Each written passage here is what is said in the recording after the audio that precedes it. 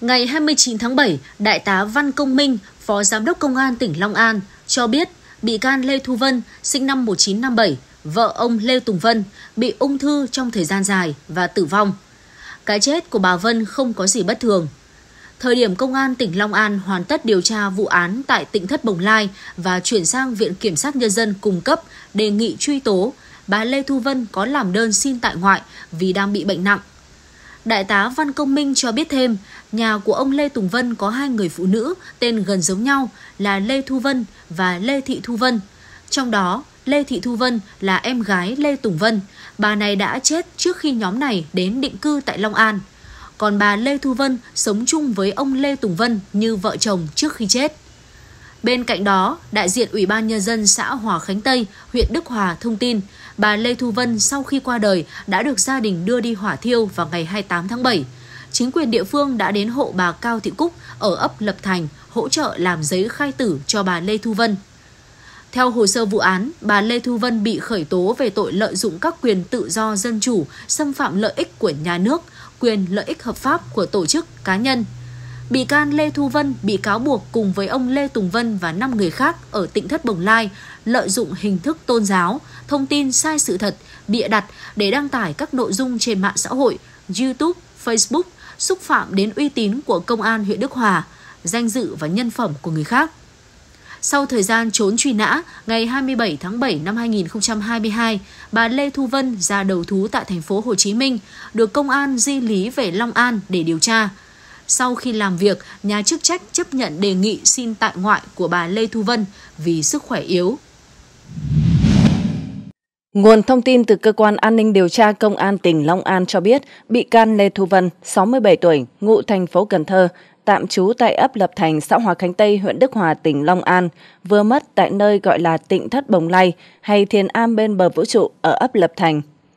Bà Lê Thu Vân bị khởi tố vào ngày 10 tháng 5 năm 2022 về tội lợi dụng các quyền tự do dân chủ, xâm phạm lợi ích của nhà nước, quyền, lợi ích hợp pháp của tổ chức cá nhân.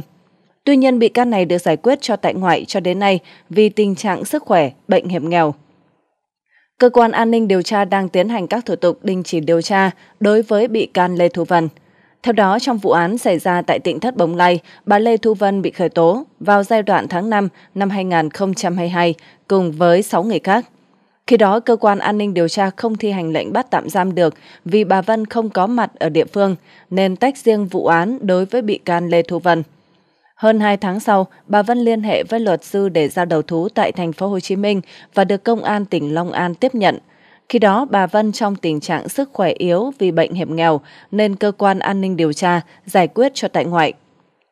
Luật sư của bà Lê Thu Vân cũng trình bày hồ sơ bệnh án của bà Vân để đề nghị xem xét đình chỉ bị can đối với bà, nhưng cơ quan điều tra chưa đồng ý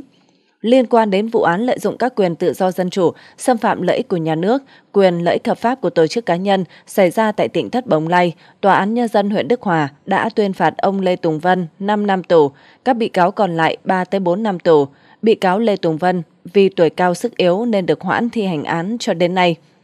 Giữa tháng 4 năm 2024 vừa qua, Cơ quan An ninh Điều tra Công an tỉnh Long An đã khởi tố bị can nhưng cho tại ngoại đối với ông Lê Tùng Vân, 92 tuổi, về tội loạn luân. Đầu tháng 7 vừa qua, Cơ quan An ninh Điều tra khởi tố bị can đối với Lê Thanh Nhất Nguyên, 33 tuổi, về hành vi lừa đảo chiếm đoạt tài sản. Hiện Công an tỉnh Long An đang tiếp tục mở rộng điều tra vụ án loạn luân và lừa đảo chiếm đoạt tài sản. Sáng 29 tháng 7, Bí thư xã Hòa Khánh Tây, huyện Đức Hòa cho biết, hiện cán bộ Ủy ban Nhân dân xã trực tiếp xuống hộ Cao Thị Cúc, tỉnh Thất Bồng Lai, ngụ ấp Lập Thành để hỗ trợ gia đình làm giấy khai tử cho bà Lê Thu Vân đã chết do bệnh hiểm nghèo nhiều năm. Bí thư xã cũng cho hay nơi này luôn đóng kín cửa nên khi bà Vân mất phải đến kêu cửa gia đình này mới mở. Trước đó, tối 28 tháng 7, thông tin từ Công an tỉnh Long An cho biết, bị can Lê Thu Vân, sinh năm 1957, em gái ông Lê Tùng Vân, đang tại ngoại, trú tại hộ Cao Thị Cúc, xã Hòa Khánh Tây, huyện Đức Hòa, đã mất vào sáng cùng ngày do sức khỏe yếu, bệnh nặng.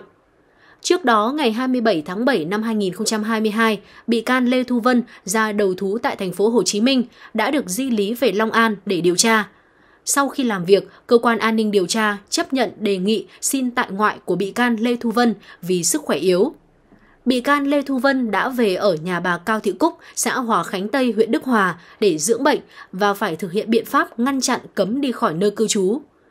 Theo hồ sơ vụ án, bị can Lê Thu Vân, người cùng các thành viên tại tỉnh thất Bồng Lai chăm sóc, dạy học cho các cháu nhỏ, nấu ăn cũng bị khởi tố cùng về tội lợi dụng các quyền tự do dân chủ, xâm phạm lợi ích của nhà nước, quyền lợi ích hợp pháp của tổ chức cá nhân. Bị can Lê Thu Vân bị cáo buộc là cùng với ông Lê Tùng Vân và 5 người khác ở tỉnh thất Bồng Lai lợi dụng hình thức tôn giáo, thông tin sai sự thật, bịa đặt để đăng tải các nội dung trên mạng xã hội, YouTube, Facebook xúc phạm đến uy tín của công an huyện Đức Hòa, danh dự và nhân phẩm của người khác. Do bà Lê Thu Vân trốn truy nã nên chưa bị xử lý.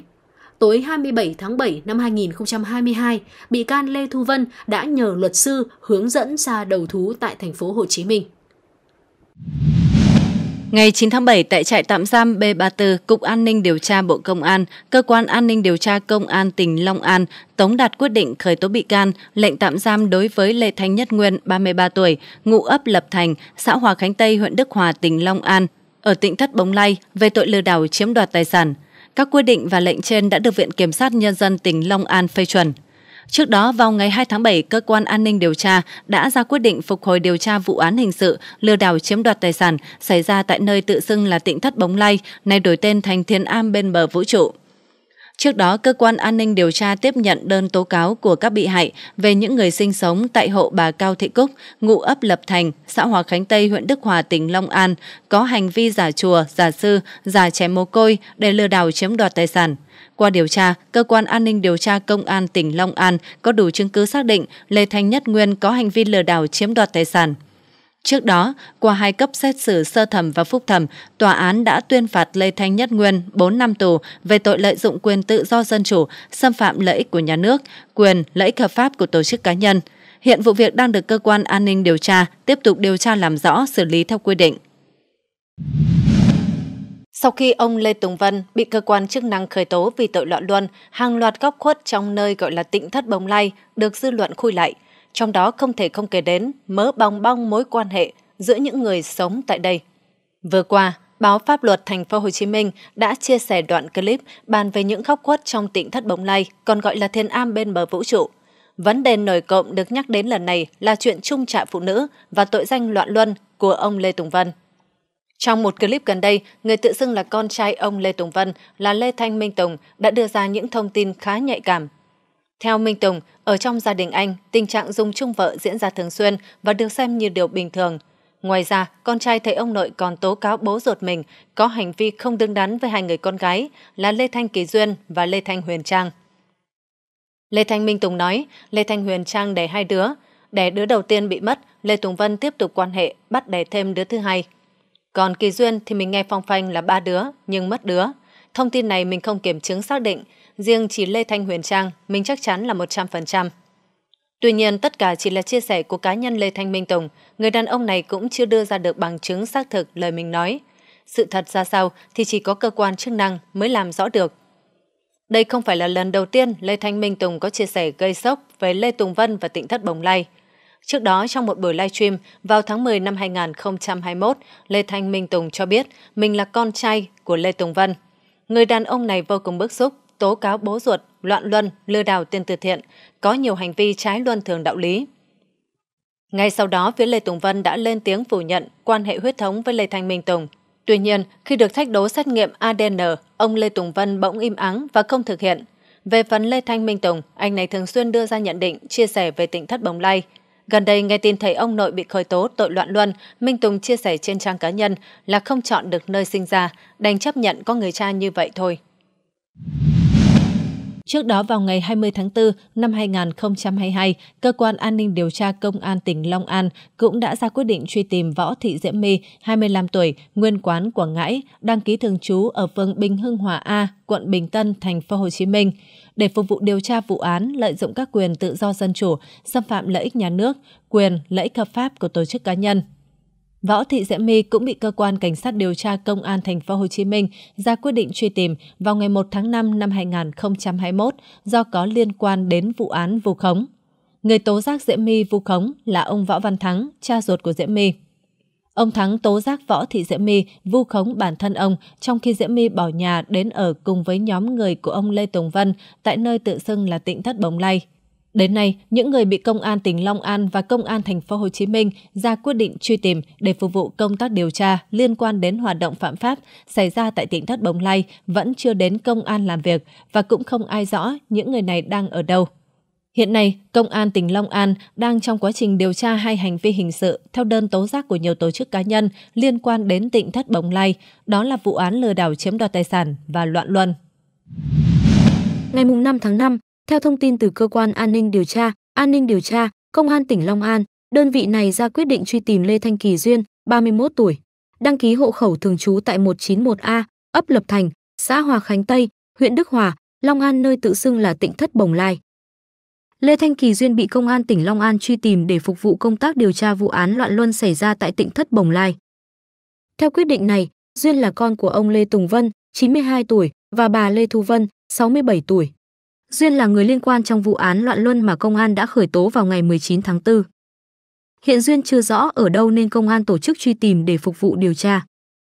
Cơ quan an ninh điều tra công an tỉnh Long An thông báo những ai biết thông tin về người bị truy tìm là Lê Thanh Kỳ Duyên thì báo ngay cho cơ quan an ninh điều tra công an tỉnh Long An. Địa chỉ 76 Châu Văn Giác, phường 4, thành phố Tân An, Long An, điện thoại 0693609113 hoặc 0842728599, điều tra viên Trần Minh Hoàng. Hôm 19 tháng 4, cơ quan an ninh điều tra công an tỉnh Long An ra quyết định khởi tố vụ án, khởi tố bị can Lê Tùng Vân để điều tra về hành vi loạn luân. Trước đó, qua nguồn tin tố giác có dấu hiệu tội phạm loạn luân của Lê Tùng Vân, cơ quan an ninh điều tra công an tỉnh Long An thụ lý điều tra và có đủ chứng cứ xác định Lê Tùng Vân có quan hệ loạn luân với con ruột sống trong hộ bà Cao Thị Cúc, ở ấp Lập Thành, xã Hòa Khánh Tây, huyện Đức Hòa. Cơ quan công an tiếp tục điều tra, lãm rõ vụ án. Mới đây, thông tin ông Lê Tùng Vân là chủ cơ sở thờ tự tại tỉnh Thất Bồng Lai, này là thiên am bên bờ vũ trụ, bị khởi tố loạt tội danh, đã nhận về sự quan tâm lớn. Đặc biệt, theo tiết lộ ban đầu từ cơ quan chức năng, ADN của thầy ông nội trùng khớp với một số người đang sống trong tỉnh Thất. Đến đây, nhiều người tò mò về mối quan hệ đặc biệt của ông Vân với những người này. Ngoài ra, dân mạng cũng đang ngóng chờ thông tin về cô gái tên là Diễm My, sinh năm 1999, sinh sống tại thành phố Hồ Chí Minh, từng có khoảng thời gian tu tập tại tỉnh Thất Bồng Lai. Bởi sau khi quyết định đến đây quy y, gia đình của My đã mất liên lạc với con gái. Bố mẹ cô gái đã sử dụng các nguồn từ công an, youtuber, thám tử, vân vân, trao thưởng 1 tỷ cho ai tìm được con, nhưng kết quả nhận về đều vô vọng. Hiện một bộ phận dân mạng đang rất tò mò về việc vì sao Diễm My lại quen và nhất quyết bỏ gia đình đến chỗ ông Lê Tùng Vân tu tập để rồi không rõ tung tích. Trước đó xuất hiện tại một sự kiện ở Bình Dương, chị họ của Diễm My từng lộ diện. Cô gái này đã kể về quá trình mình và em họ gặp Huyền Trân là thí sinh The Voice Kids. Cô gái này cho hay khi mới quen không biết Huyền Trân là người đến từ tỉnh Thất Bồng Lai mà chỉ biết cô là thí sinh của The Voice Kids. Khi thấy Huyền Trân tham gia The Voice Kids, mình đã hâm mộ em ấy. Ngoài giọng hát, chính hoàn cảnh mồ côi không cha không mẹ của Trân khiến mình cảm mến. Sau này nhân chuyến từ thiện tại Vũng Tàu vào tháng 4 năm 2019, có sự góp mặt của Huyền Trân nên mình mới rủ My đi cùng. Bởi em họ mình là người sống nội tâm, ít tiếp xúc với mọi người nên muốn em ra ngoài khuây khỏa, người này kể. Kết thúc chuyến từ thiện, cả hai chị em được mời về tỉnh thất Bồng Lai chơi. Tại đây, họ có cuộc trò chuyện vài tiếng với ông Lê Tùng Vân. Sau đó vì bận việc học và đi làm nên cô gái này không quay lại tỉnh thất nữa. Về phía Diễm My, trên mạng xã hội từng xuất hiện clip cô đến tỉnh thất Bồng Lai để tu tập và được thầy ông nội đặt cho biệt danh là Ngọc Tiên.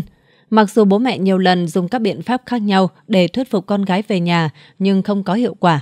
Thậm chí khi báo đài đăng tin tức về tỉnh thất Bồng Lai là một cơ sở có dấu hiệu lừa đảo phạm pháp, Diễm My từng cho rằng chính bố mẹ là người đứng sau nói xấu tỉnh thất. Khi ấy, cô gái trẻ còn đòi đoạn tuyệt huyết thống nếu bố mẹ còn ngăn cản mình xuất gia.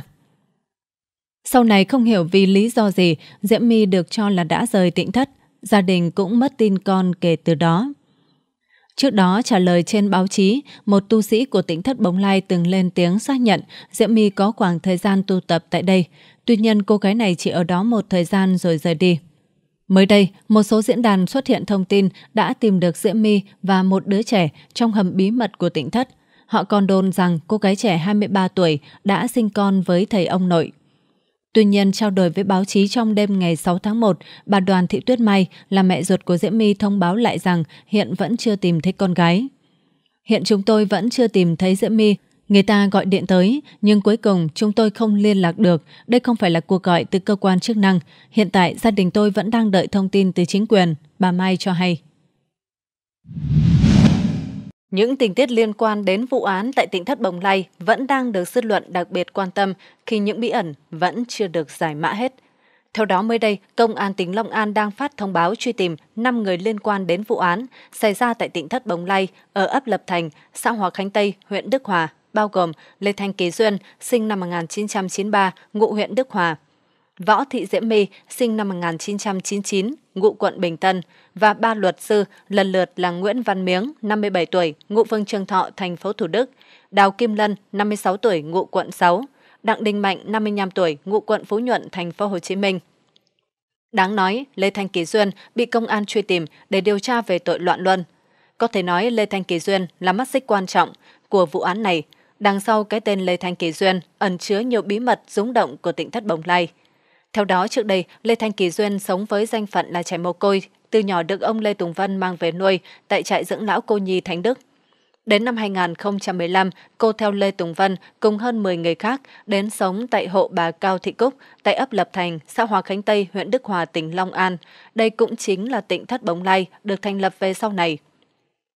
Tuy nhiên, cơ quan chức năng tỉnh Long An đã xác định Kỳ Duyên là con ruột của ông Lê Tùng Vân và bà Lê Thu Vân qua xét nghiệm ADN và không thuộc diện mồ côi. Đáng nói, Kỳ Duyên cũng có hai con là MN và PV. Trích lịch khai sinh hai bé MN và PV đều đứng tên mẹ là Kỳ Duyên, không có cha. Khi đến tỉnh Thất Bồng Lai, ngày 24 tháng 4, làm việc với Lê Thanh Kỳ Duyên vào ngày 24 tháng 4, người này đã rời bỏ nơi cư trú. Đến ngày 5 tháng 5, thông báo truy tìm Lê Thanh Kỳ Duyên đã được Cơ quan An ninh Điều tra Công an tỉnh Long An phát đi. Cụ thể, trong quyết định nêu rõ, Lê Thanh Kỳ Duyên là người bị nghi thực hiện tội phạm trong vụ án loạn luân, hiện không rõ đang ở đâu, cần tổ chức truy tìm để phục vụ công tác điều tra. Được cơ quan chức năng xác định là con ruột của ông Lê Tùng Vân, cũng như bị nghi thực hiện tội phạm trong vụ án loạn luân, Lê Thanh Kỳ Duyên là một mắt xích vô cùng quan trọng trong quá trình vén màn những bí ẩn đằng sau cánh cửa của tỉnh thất Bồng Lai – cho đến thời điểm hiện tại, cô là người con gái duy nhất của Lê Tùng Vân đang bị cơ quan chức năng truy tìm để phục vụ cho công tác điều tra. Là người theo ông Lê Tùng Vân từ khi còn nhỏ, chưa vào tỉnh thất Bồng Lai, Lê Thanh Kỳ Duyên có lẽ là một trong những người thân cận nhất của thầy ông nội, nắm giữ nhiều bí mật quan trọng, mở ra sự thật đằng sau và có vai trò quan trọng trong điều tra vụ án loạn luân ở cơ sở này. Cũng liên quan đến nhóm người ở tỉnh Thất Bồng Lai, ngày 31 tháng 5 năm 2023, Cơ quan Cảnh sát điều tra Công an tỉnh Long An đã ra quyết định truy tìm ba người hành nghề luật sư thuộc đoàn luật sư thành phố Hồ Chí Minh, gồm ông Nguyễn Văn Miếng, 57 tuổi, ngụ phường Trường Thọ, thành phố Thủ Đức, ông Đào Kim Lân, 56 tuổi, ngụ phường 9, quận 6 và ông Đặng Đình Mạnh, 55 tuổi, ngụ phường 15, quận Phú Nhuận, cùng thành phố Hồ Chí Minh. Đây là ba trong năm luật sư tham gia bảo chữa cho 6 bị cáo trong vụ án lợi dụng quyền tự do dân chủ, xâm phạm lợi ích nhà nước, quyền, lợi ích hợp pháp của tổ chức cá nhân xảy ra tại nơi tự xưng là tỉnh thất Bồng Lai.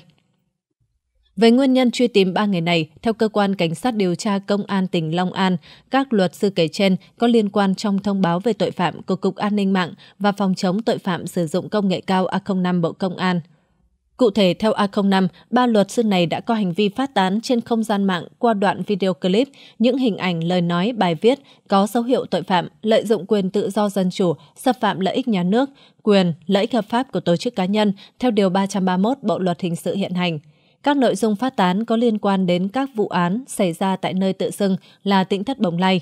Thực hiện theo thủ tục tố tụng hình sự, cơ quan cảnh sát điều tra công an tỉnh Long An đã phát thư mời triệu tập các luật sư liên quan đến vụ tỉnh thất bồng lai nhiều lần nhưng những người bị triệu tập không đến làm việc. Cơ quan cảnh sát điều tra công an tỉnh Long An phối hợp với công an phường nơi cư trú của ba luật sư trên đã xác định họ không có mặt tại địa phương, đi đâu làm gì không rõ và không liên lạc được.